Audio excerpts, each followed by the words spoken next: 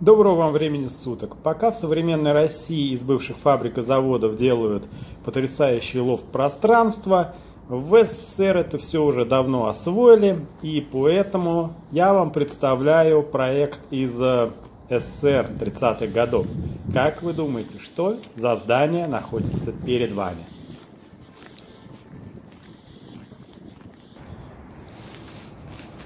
Ничего вам не напоминает?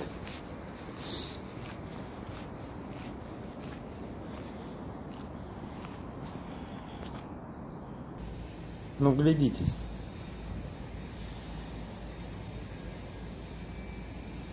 Спасибо вам большое за просмотр.